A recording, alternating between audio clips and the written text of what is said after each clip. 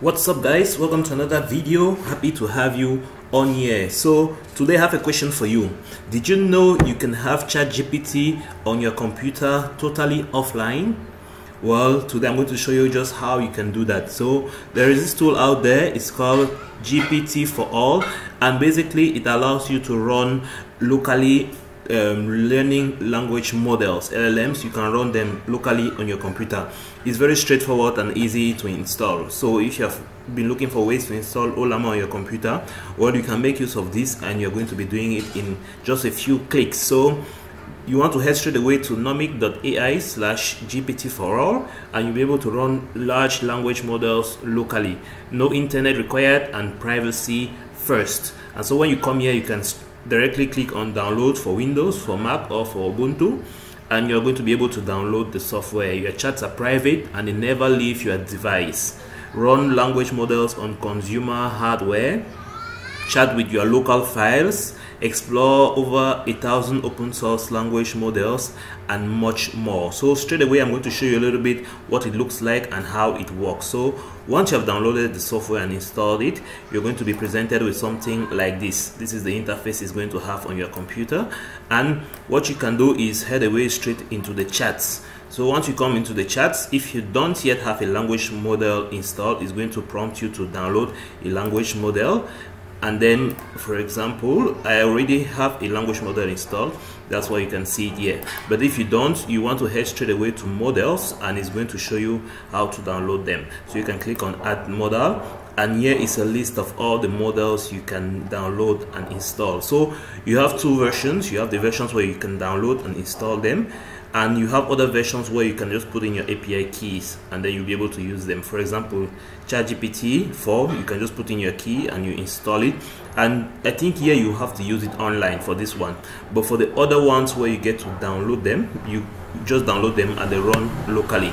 So you have different versions which work for different things specifically so you have um, take note of the sizes. They are quite large 4 gigabytes 1 gigabyte and so on and so forth. So once you have downloaded it now you can run it. You can chat with AI totally offline. So we'll go straight away and do just that. So yeah we're going to load it. So the language model is loading. Loading llama 3.2.3b instructs so models keep coming out every day so you might want to always check for new updates. So let's go ahead just say hello. So now one thing that is different with these local models is that they usually take some time to process your information. As you can see it's taking quite a little bit of time just to process a simple instruction as hello but once it does it, it, the results are it shows you the results the reason why it does this is because it uses your GPU and your CPU to kind of analyze what you're saying. That's why it does take time to do that. So the if you have a high-end computer, it takes a lot less time than if you have a low-end computer. So I'm running on an i7 with a GTX 1050 right now. So you can see how much time it's taking to just give me the response. So imagine if you have a computer less powerful than that, it's going to take way more time. But the more powerful your computer is, the less time it's going to take. So you see, it has given me the response and it's working totally offline. So let's just try and ask it for a little code. So give me the Python code to say hello world. Let's just give it that simple instruction and see what it can come out as a result. So you can access pretty much every information you need.